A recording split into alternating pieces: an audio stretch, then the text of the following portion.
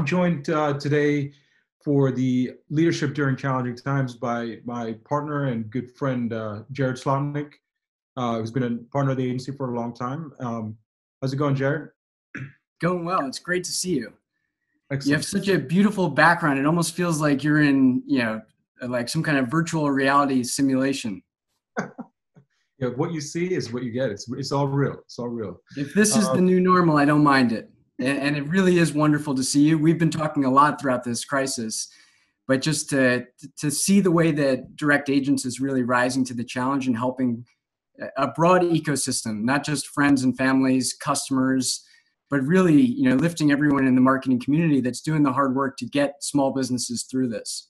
Absolutely, absolutely, and yeah, and I think it's great to have partners like yourself uh, tune into the conversation. And thanks again to Jackson and Shireen from DigiDay for for really like bringing up some great points in terms of what everyone's facing today. Um, so let's just jump right into this. Um, you know, obviously leadership during this time is is a whole new way of approaching things. Talk to me about um, what are some things that you're doing in terms of how you're approaching leadership um, at Google, and, and what are some, some things that you're seeing effective? So I'm in, I'm in a really fortunate position. Yeah, the the company has created an environment for us to be successful and continues to do that, and I'll share some of the ways. But more than that, I work with amazing teammates that have shown me what's possible in the darkest situations and really revealed the true character of leadership. So what I what I'm going to share with you today is is what I've learned from them. Um, and where we started was really you know a focus on staying informed, prepared, and not panicking. The last part's a bit tricky, but I thought maybe I'll share a little bit on each with you. Sure, sounds good. So, on staying informed, you know, we're really trying to focus on only a few authoritative websites to get information. So, we're looking at the CDC, the World Health Organization. Uh, we launched uh, resource google.com slash COVID 19 to have all of this authoritative information available. There's also for our small business community uh, a dedicated site on Think with Google. It is smallbusiness.withgoogle.com. And it's so important to have these consolidated, curated, authoritative resources to guide our efforts. So once we've got that information, now what do we do with it? You know, I think we'll talk in a, in a bit more detail about how we're structuring our teams, what processes stay the same versus which ones are are changed. But something I just want to share personally that I'm really grateful for is, you know, I happen to have uh, set up a tablet in my grandma's apartment, and she's got Google Duo on it. And of all the things in terms of preparation, you know, that was one that I just could not have foreseen how important it would be in order to have that connection with her. And so being able to to just see my friends and family, see my grandma has been so important throughout this. Sure. Uh, in terms of not panicking, this is you know probably the hardest one what we've been trying to do is is really be conscious and intentional about our media diet. You know, I try not to to watch the news at night, uh, even you know if it's Governor Cuomo, as uplifting as he's been. Um, I try to, to to keep that in in a, in a balanced, uh, limited fashion. And then as a team, you know, we talk about bringing the weather to every meeting, and that's not about being delusional. It's just being about optimistic. Let's see what is possible and let's bring that to the room and allow others to respond and feel that warmth of our energy. So that's kind of how we're thinking about staying informed, prepared, and doing our best not to panic. Absolutely. Yeah, and then I'll just share quickly from the agency perspective. Um, you know, similar to what you said in terms of the not panic, um, I think a lot of it is just preparation. So we were fortunate to start planning for this as soon as we started seeing any news about it. Um, like a lot of our partners that are probably listening today, we pivoted quickly to move remotely. Um, then you know it's obviously the next set of challenges, right? For for your teams, like how, how does the communication happen? How does the culture happen? How do you keep that same energy as a company? Uh, and so, similar to kind of what you were saying, I think we've been very fortunate to have an amazing team in house. Um, but one of the things we focused on from the beginning was looking at those, you know, those resources that are out there, making informed decisions. Mm-hmm. Um, and so we're thinking from actual fact than emotion because it gets very emotional fast, right? Like when you start dealing with the day to day of this. Um, and so, you know, obviously thinking about what we need to do as a company, but then thinking about the day to day of like how people are feeling, how people are reacting to this. Right. Um, and then, you know, you bring up Governor Cuomo, and I think a great point that he makes in an article in the Wall Street Journal, I think today, was about transparency. And we really focused on that in terms of being transparent top down from the beginning of this and just giving people more and more insight into what's changing, how are we handling this uh, from the leadership perspective, what are our partners saying, what are the other CEOs saying in the industry, what are partners like Google doing. So I think we've taken those cues to be a transparent company. And I think that really helps because the first thing that people are worried about is one, am I healthy? Am I safe? Two, is my job safe? Three, you know, is it safe to go work in the work environment that I have to go back to or when so we've been trying to stay ahead of that too by messaging okay here's what the next week looks like week by week. Here's what's happening you know for for the next two weeks. Here's what the government's saying. Here's how you should interpret that. So i think just you know a lot of things that you guys are probably doing at google we're thinking um, for our you know 80 person agency like how can we alleviate all those fears and frustrations and and still remain focused on on what our and our hearing directly are, from know? you so the direct agents blog is a wealth of information. But one of the first messages was one directly from you around what you were doing in in light of this crisis. And i think you know that's a, a common theme between you know what you were referencing with governor cuomo and what you've been doing as an agency and a partner. Uh, we, we're in a very fortunate position where a lot of our our business practice and process was well positioned to move to this distributed work environment but there are a lot of others that that were not prepared for this. And i just want to share a couple of things that i think we've both been doing but maybe the the audience would benefit from. Sure. And, and this was you know uh, I, I heard it in your first message. It was the first message uh, from me to the team. And it was around getting connected being connected and staying connected. And in terms of getting connected this is about the logistics you know do you have a room a chair do you have schedules lined up across time zones? Um, you know easier said than done. And you know one kind of uh, interesting lens of this is you know we're starting to see into into our respective colleagues and partners uh, you know work from home environments. And so I, I don't know if you've seen it but i have a few tips here from tom ford. And i Sure. thought would you like to hear those? Sure. Okay. You may have seen this because um, there there was a New York Times article about it, and and of all places or of all people, um, Tom Ford communicated this information through Larry David. So he, Yep. here's what uh, the famed fashion designer uh, had to say about your home work setup and and how you get connected. First, uh, put the computer on a stack of books so the camera is slightly higher than your head. Stay about the top of your head and then point it down into your eyes. Then take a tall lamp and set it next to the computer on the side of your face you feel is best. I haven't quite figured this out, but Tom Ford always seems to be coming at you from a specific angle. Uh, the lamp should be in line with and slightly behind the computer so the light falls nicely on your face. And the last one, this is a, I, you know, I'm trying this today. You'll tell me if it helps at all, but I've got a piece of white paper or a white tablecloth on the table so that it bounces the light up really nicely. Right. And then he talks about powder, but honestly, I don't know what to do with that. It seems like it, would help, but uh, so, so that's on getting connected. And then, you know, just Sure. quickly on, on being connected and feeling connected. You know, being connected is all about the tech. You know, we're here on a Zoom webinar, which is amazing.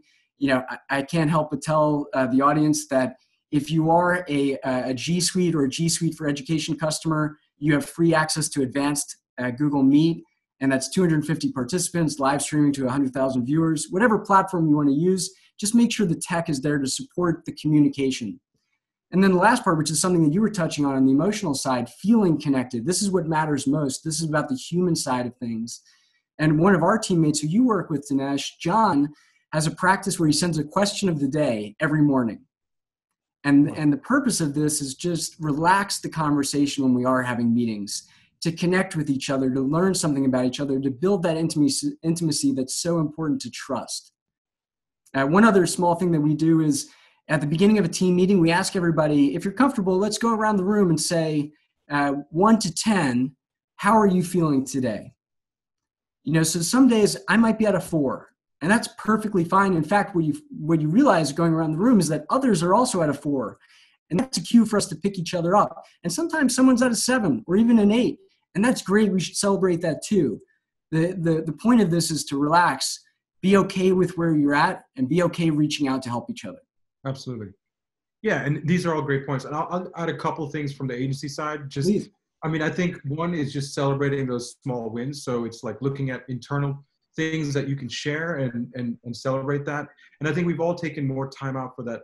That just human side of how you're feeling. What do you, you know, what did you do last night? We all did the same thing, right? We all watched TV, we cooked dinner, we're we're home. So I think there's that like running joke of like, where'd you go to celebrate? I went in my living room or you know in my bedroom, like the other so side like, of the couch.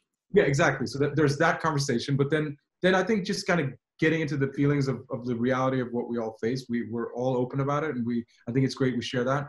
From the HR side of things, we've really focused on developing this virtual culture, and that's really helped us as a company. Our um, Sarah Martinez, who's going to be speaking later um, with JustWorks, has been you know really leading the charge in terms of just little things that bring people together. Like we have an every day like a little water cooler talk session where it's like 15 minutes where everyone could go on and, and chat about whatever.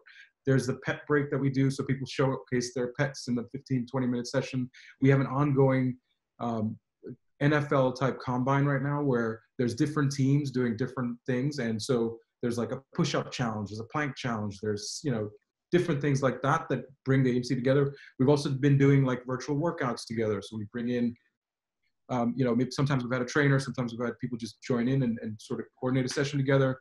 Um, so I think it's just thinking about that. But one of the things, you know, maybe you guys are doing also is just developing an internal content um, library. So people are just creating like user generated content uh, in their homes uh, and maybe we'll have a theme like yesterday we had everyone's like affirmations of like mm. what what are they feeling good about what you should be you know what's what's making you get through this thing and then we we just put together a little montage that sh- we shared in the company all hands um, so i think you know the disconnectedness makes you the community of, of the, the agency of the company is so important right now that we're trying to just keep telling that internal story our um, last conversation was all about culture. Yeah. And those investments are are paying off. They do all the time, but it's even more evident now. Yeah. The the affection that your team has for each other's is what's driving the quality work that you're doing for your customers. Yeah. The the way that you are, you know, the trust that you have, the informal fun moments that you inject throughout every day, so important. You know, that's how we get through this. Yeah, and, and and I think, you know, that is goes into one of the things we do, we just encourage everyone to just do a random check-in with someone you never talked to and say like, how are you doing? Like, what are, you, what are you doing today? How, how are you dealing with this? So I think all of those things are just like making us kind of get through this. Um, and just like the community is something I look forward to every day when I'm in that moment of doubt. I know I have the community that I, that I work with. Right. So and the partners like yourself. So I, I, think those are really important things. That's you know for us that's we have two principles that we're operating from. One, you know, take care of of your take care of your people and yourselves. We don't do anything until that's secure. And then after that, we're trying to hustle hard and stay humble. We're you know our team at Google is is known as Team Hustle. And so there, you know, when we get into that side of it, the business side of it, and how we help our customers, you know, there there are a few things that we've done mostly around communication and decision making, but a lot of the process has stayed the same.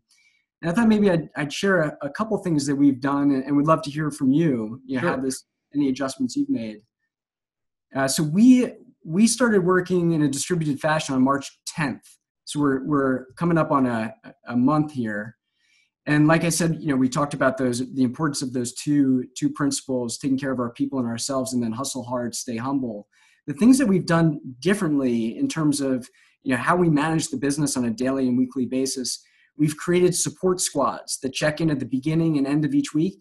And it's great to set an intention personally professionally whatever it is this is what i hope to accomplish. And your your support squad helps keep you accountable for that uh, we've introduced a fireside chat that i do uh, every wednesday. And you know back to where we started at the beginning so important to hear directly from the leader of a team full transparency. Here's what's going on. Here's how we can anticipate changes and to celebrate all the great work that's happening. Uh, we do daily stand-ups for some of the teams you know just checking in the morning here are my priorities we've seen a, lo- a lot of really great cooperation happen as a result that typically would have been you know a chair swivel and talking to the person that sits you know three right. feet from you we've increased the duration of our one-on-ones and i think the value of this is to make sure that we're getting at the hard things and, and, with a constrained amount of time it's difficult to feel comfort in order to share the thing that you're avoiding yourself And so increasing the duration of that. But importantly, you know, we're, we're trying to balance giving people free time and not just free time to do more work, but free time to be themselves and to, to just make sure that they're moving and breathing. And, um, you know, it's, it's, it's easy to get caught up in work when there's no physical distinction between your work and your, your personal space. Right. right. Uh, the last part is, you know, we've really focused on uh, written communication.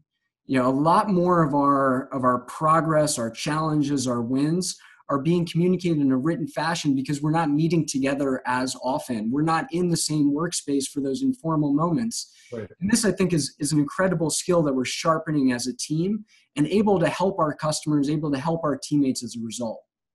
Absolutely. That's no, that's that's really great. And let's get into the customers for a moment. You know, in terms of clients, in terms of um, you know, what what are you seeing that's been effective in terms of just dealing with your customers and your clients, and how how that's how that's going? The where we operate from with with customers and with everything in this crisis is empathy, vulnerability, and courage. And for anybody that has any questions about this, you know, listen to Brene Brown talk about it. Vulnerability is courage yeah, uh, and for us, you know, so many of our our family and friends run small businesses. Our customers who we speak with every day are facing really difficult times. Right. We are aware of our privilege working at a company like Google, and we don't take any of that for granted. We're working overtime to make sure that our customers are set up for success. And so, you know, a few ways that this manifests is I think our team has a sense that we are a mirror to what the customer is facing.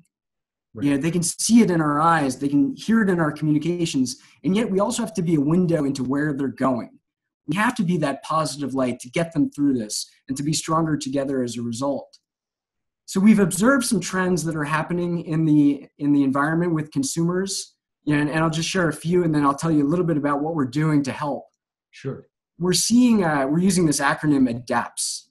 So A, assembling critical information and content they need to get by discovering new connections and nurturing relationships. And this is these are things personally and professionally. This is what a consumer is doing on a daily basis. We're adjusting routines and schedules to meet the demands of voluntary isolation.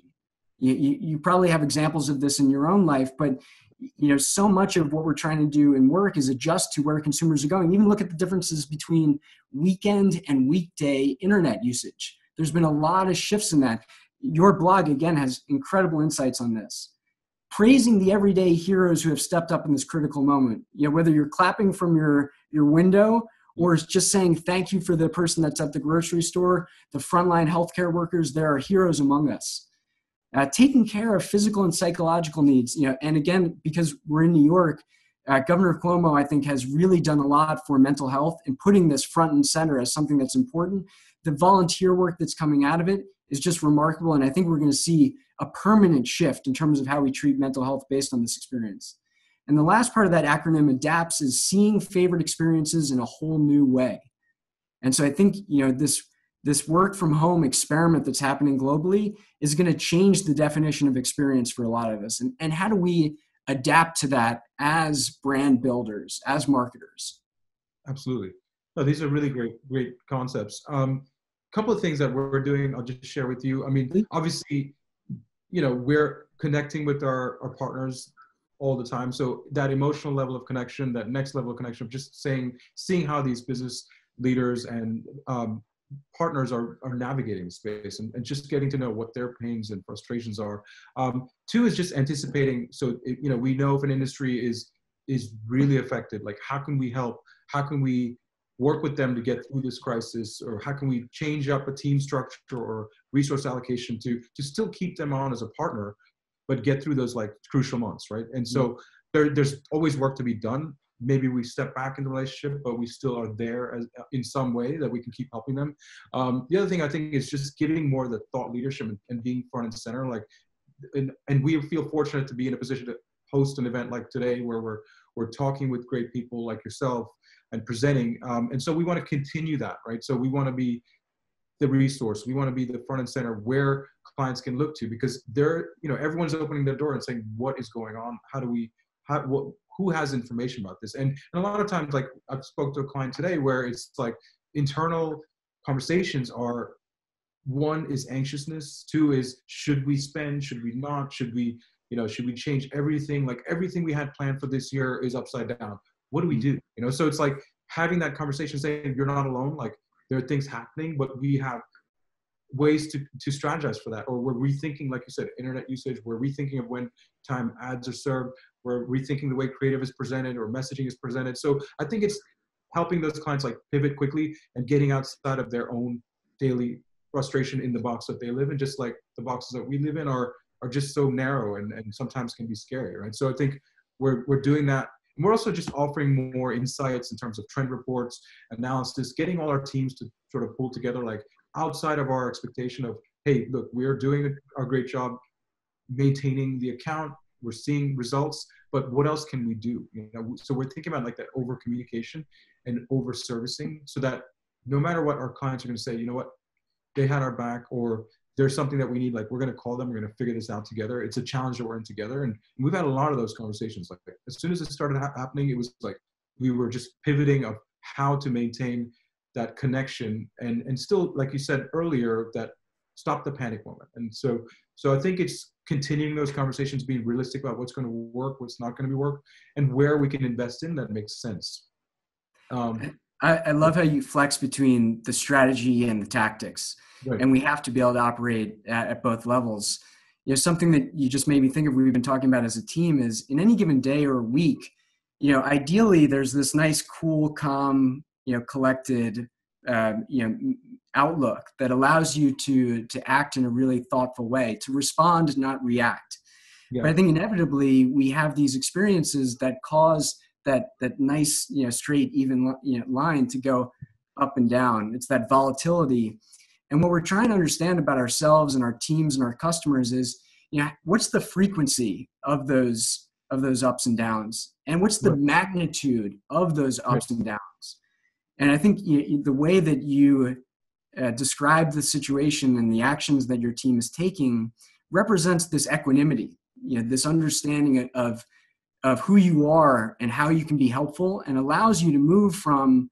you know this this like feeling of indecision to here's how we can help, here's how we can move forward. And on that note, you know, we've been talking about there are customers in different situations, and we want to be respectful of that. And we want to be helpful in the way that the customer needs. And so a few ways that, that we've been talking about this, and you know, I know Maddie's paying attention to the chat. And we're going to do some follow up after this, but sure. You know, if people, if customers are out there and you have questions about anything that we talked about, want to follow up, please uh, communicate that through the chat or directly through the direct agents team. Uh-huh. But there, there are a few customer types that we've been looking at. You know, one is marketing may not make sense right now. You might be really focused on how do we just generate positive cash flow in the next 30 days and we're talking to a lot of customers that are in that situation. And again, friends and family are in that situation too. A lot of respect for that. And the work that you're doing, even just to make it through, is hard, and you should be proud of it.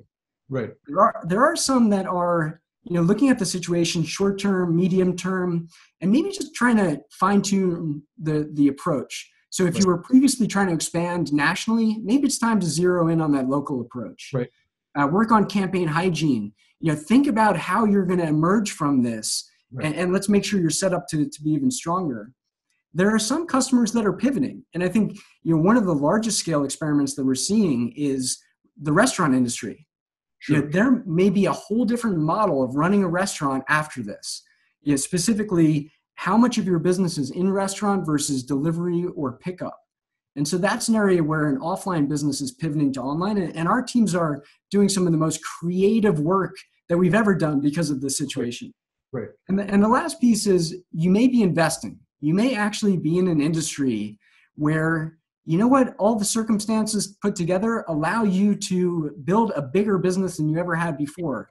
Sure. Uh, you know, disinfectant wipes, toilet paper, you know the uh, the bean producers at farmers markets have never been more popular Right. And so, how can we help those companies create what's called excess share of voice? And this is something another teammate has been coaching me on. You know, how do you go into this, build a brand, even in a competitive category or where demand is high, so that when you leave this whole thing, you are known for what you intend to be known for and can right. build an even stronger, bigger, more robust business as a result. Right, absolutely. And and I think two points, and, and I'm going to answer a question that came in while I you know respond to what you're saying, I think is that you know we've we've been fortunate as an agency to uh, the majority of our clients are thinking about investing and still growing through this. Um, but it's the question that came in was, you know, what happens in how do you approach a client that you know when's the right time to approach a client through this this whole crisis that may not feel that comfortable to talk about growth and to talk about the next step. And I think you know from our perspective, we're doing things like exactly like what you said, pivoting to something specific. Maybe it's scaling back an idea that was going to be a, a bigger campaign and picking one of those things to focus on. Um, looking for small wins that you, you know we can celebrate together with the client. So if, if it's not putting um, you know your money in, in something that was um, what you did forever, but now it's completely gone. Wh- whatever channel that is, like we're thinking like maybe that's an investment in more data research or analytics or um, you know cleaning house in terms of an, a user flow on your website or, or, repurposing your creative assets. So I think thinking about what you can do, and, and I think the biggest point for, for everyone that you just mentioned is what happens after this, you know? So what does your business look like coming out of the crisis? And, and what's that, that you know, and what is that next step? What is that opportunity? Because, you know, at the end of the day, we all want to succeed and, and be, and be happy through the work that we're doing. So there is, there is an end goal, right? So I think thinking about that with our clients and planning for that that point of when this thing starts to pivot and we start to get out of this this cycle that there's an opportunity that, that we can all benefit from. I, I have a question for you dinesh. Yeah. A more macro view. Yeah. what do you think is something that has changed because of this experience that we should keep even after we're through this? That's a big question. Um, i think it's the connectivity the personal connection that we're all making. I mean, you know, I don't want to get too sentimental in here, but like I think we've all connected as people in a much different way. One with our families, two, um, you know, with the people that we work with. So, you know, if anything, I'd say it's like keeping that element of connection, um, both, you know, with our professional world and our personal world, and also just like that next level of relationship with our clients. Like I've got to know the clients that I work with more than I ever have, and and and understanding that there's like such a human side that that we can continue to learn from um, that uh, you know I, I, hope will stay. I, I, feel the same way, and I'm, you know, I, the family uh, hangouts I do every week. Uh, yeah. it's a recurring calendar invite, and I'm not planning on stopping that. Yeah. And the way that we, the way that we listen when we ask, "How are you?" Yeah. I think has changed, and and we should forever, you know, give it a couple more beats to really connect on a human level I, think it's so important, and you said it well, and, and I feel it in our friendship, in our business partnership, and I know you know if nothing else, this audience walked away with with at least a little bit of optimism that you know business is focused on on the people, and we right. will get through this stronger because of that. Absolutely. Um, so I think we're going to have to wrap now, um, but thank you again for joining us, uh, and we'll hopefully we'll continue more uh, of these in, in the future. Um, and we're going to go. Absolutely. And uh, I think the next session is going to be, as I mentioned, Sarah Martinez, who heads up our HR, uh, alongside JustWorks, uh, presenting on people and culture. So, so more to be discussed and more to be learned. Right. So tune into uh, that. Hi, Sarah. Yes. So if everyone can stay, um, the, if everyone can just check the, the chat, there's going to be a link that's shared for the next session. Thanks, Jared.